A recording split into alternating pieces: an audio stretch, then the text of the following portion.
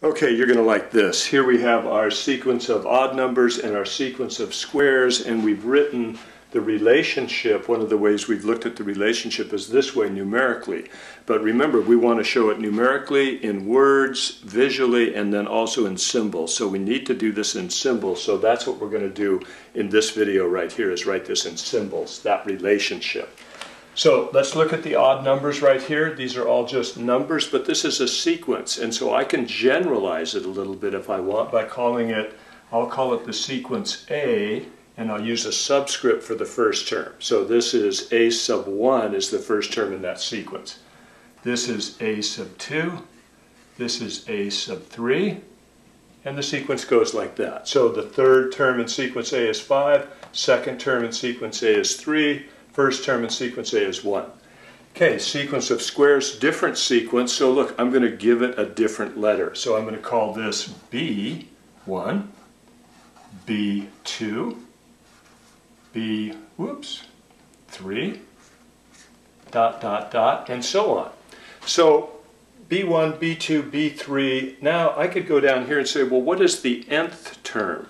I can see the first term, second term, third term, fourth term, fifth term, sixth term, but what about any term? We want to generalize this, and the way we do that is by saying, what does the nth term in that sequence look like? And we call that b sub n.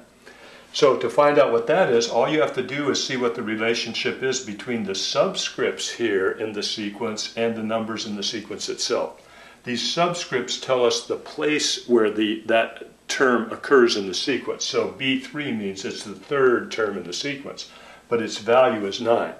Well, you can see I square 3, I get 9, square 2, I get 4, square 1, I get 1. B sub n is going to be n squared.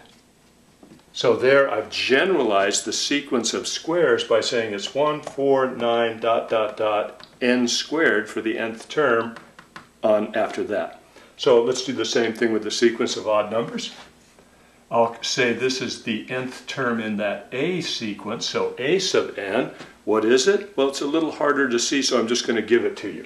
It is 2n minus 1.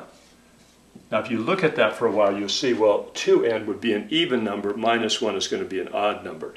But let's check. Let's let n be equal to 1, so a sub 1 would be 2 times 1, which is 2, minus 1, which is 1. It works. Uh, if I put uh, the subscript 2 in. 2 times 2 is 4, minus 1 is 3. I get the third term. Put 3 in. 2 times 3 is 6, minus 1 is 5, so on and so forth. So it works. So the nth term in the sequence of squares is n squared. The nth term in the sequence of odd numbers is 2n minus 1. So how do we show this relationship using the sort of generalization here with the symbols? We say this. If I add 1 plus 3 plus 5 plus dot dot dot plus n terms in the sequence of odd numbers, so 2n minus 1. If I add the first n terms in the sequence of odd numbers, that's what this represents, I get n squared. So there is that relationship written in symbols. Everything that you see up here is contained in this statement right here if you can get yourself to realize that 2n minus 1 is the nth odd number in the sequence of odd numbers right here. So I add the first two odd numbers, I get the second square. First three, third square. First four, fourth square. First n odd numbers, I get, of course, n squared. So there is our relationship between the sequence of squares and the sequence of odd numbers written in symbols.